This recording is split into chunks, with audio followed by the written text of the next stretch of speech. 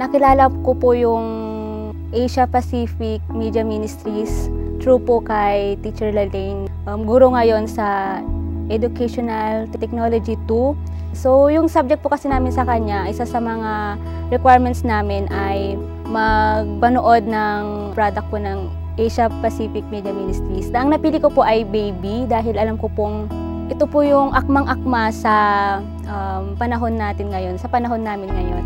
Um, highly recommended po ang mga product ng Asia Pacific Media Ministries dahil magagamit mo siya in and out sa church kasi yung mga topic or yung mga issues na tinatakol doon ay pang communities talaga siya.